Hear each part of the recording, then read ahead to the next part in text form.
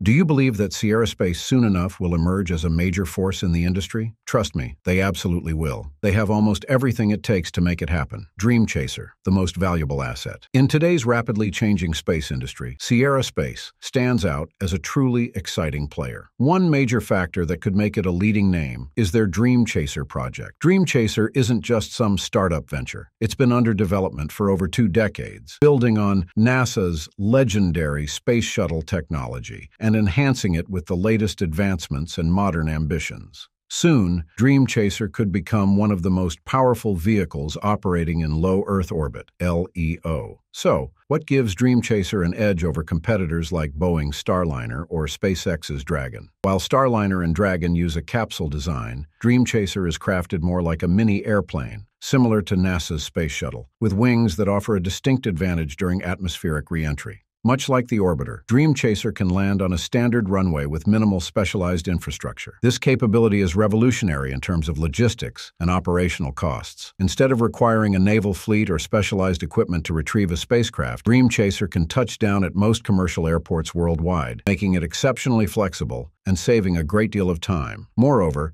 traditional capsule spacecraft generate intense G-forces when re-entering the atmosphere. Dream Chaser, on the other hand, re-enters with an incredibly smooth descent, much like the Space Shuttle. In fact, during NASA's STS-80 mission, astronaut Story Musgrave was able to stand on the shuttle Columbia's deck throughout landing, a feat that's impossible in a capsule. Dream Chaser generates about 1.5 gigabytes during reentry, significantly less than the 4 gigabytes that astronauts endure when returning to Earth in a Starliner or Dragon capsule. This gentler reentry is a big advantage for safely bringing back sensitive cargo or research samples from the ISS. Dream Chaser's wing design also offers another strategic benefit, a much wider cross-range capability. Capsules generally have only one landing opportunity per day at a predetermined location, but Dream Chaser can attempt landing every 90 minutes, with landing windows covering roughly one-third of the day. This flexibility is especially valuable in emergencies, during poor weather conditions, or when flight paths over sensitive areas require precise timing.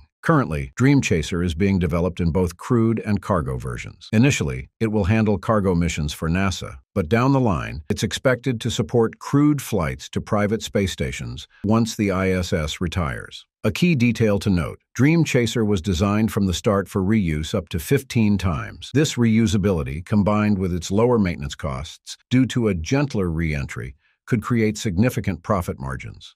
Undoubtedly, Dream Chaser is Sierra Space's strongest asset. However, to dominate LEO, a space company can't rely on a single product, no matter how promising, like Dream Chaser. Sierra Space understood this from the beginning. Their development strategy is comprehensive, covering three critical areas space transportation, space destinations, and space technology applications. In the realm of space destinations, Sierra Space is collaborating with Blue Origin to develop the Orbital Reef Space Station, an ambitious project aimed at creating a commercial industrial park in space. Orbital Reef is slated to launch and become operational within the next three years, with Dream Chaser set to serve as the primary spacecraft for cargo and crew rotation to this commercial station. In addition, Sierra Space is developing the Life Habitat, large integrated flexible environment, an inflatable space module that opens up possibilities for creating spacious living and working areas in space with optimized transport costs. On the propulsion technology front, Sierra Space is following a path of independence similar to SpaceX. They are developing and manufacturing all engines for Dream Chaser and the Shooting Star cargo module entirely in-house. Their Vortex engine line is built using advanced 3D printing, high-grade materials, and innovative methods to maximize efficiency. In satellite technology, Sierra Space made a significant move in early 2024 by announcing its own satellite bus lineup, featuring three models, Velocity, Horizon, and Titan. This highlights the company's ambition to offer comprehensive solutions for space missions. Alongside these developments, they are also advancing space systems and auxiliary technologies, particularly environmental control systems, a key factor for long-duration missions in space. Quite an extensive portfolio, right? Sierra is working on so many projects with major revenue potential. But do you notice something's missing? A launch vehicle. Right now, Sierra lacks the capability to launch on its own. In the short term, this means they rely on partners to get their spacecraft and satellites into orbit. But that's a short-term issue, one that could be entirely solved by acquiring a launch company. I'm talking about ULA.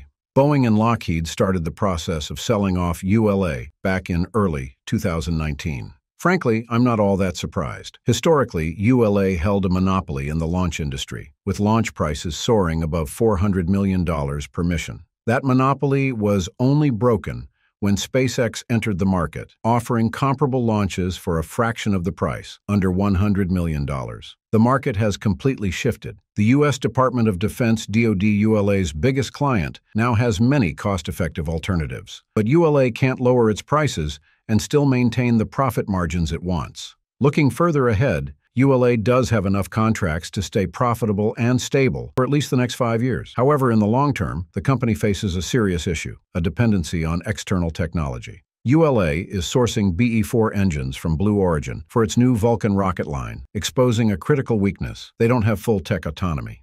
ULA is currently lagging at least two decades behind the industry's technological frontier, and at this rate, they won't have anything new to offer the market in the next decade. However, ULA could be the perfect missing piece for Sierra Space. Currently, in the entire U.S. space industry, only ULA's Atlas V and SpaceX's Falcon 9 are certified for human spaceflight, and ULA's Vulcan rocket is in the final stages of payload certification. Meanwhile, Blue Origin's New Glenn has yet to make its first flight. Sierra Space's Dream Chaser isn't ideally suited for launch on a Falcon 9 with a standard fairing, which makes ULA's launch capabilities crucial to Dream Chaser's development roadmap.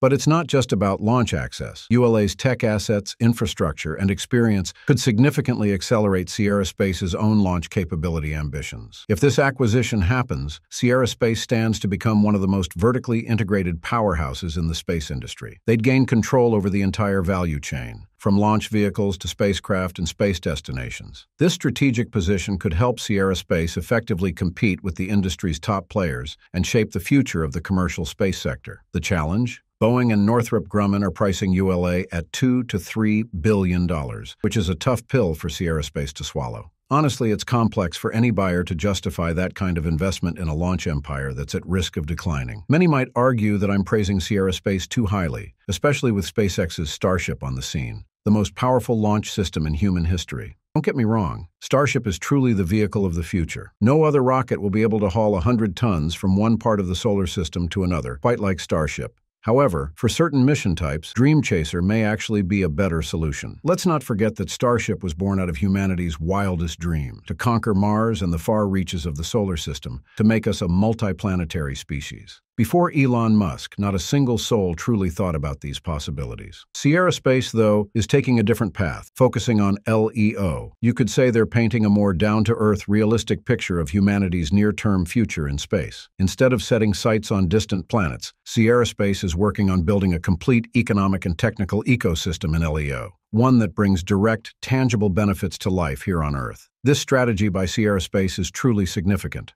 LEO is steadily becoming an industrial zone in space, hosting scientific research, military operations, microgravity manufacturing, and soon, possibly a whole ecosystem for space tourism. With a product lineup ranging from the Dream Chaser spacecraft and space stations to life support systems, Sierra Space is positioning itself as a comprehensive solutions provider for all activities in LEO. And with this approach, Sierra Space has the potential to become one of the industry's biggest players. They don't need to compete directly with SpaceX in the race to distant planets. Instead, they can establish a leadership role in a fast-growing, highly practical market, commercial operations in low Earth orbit.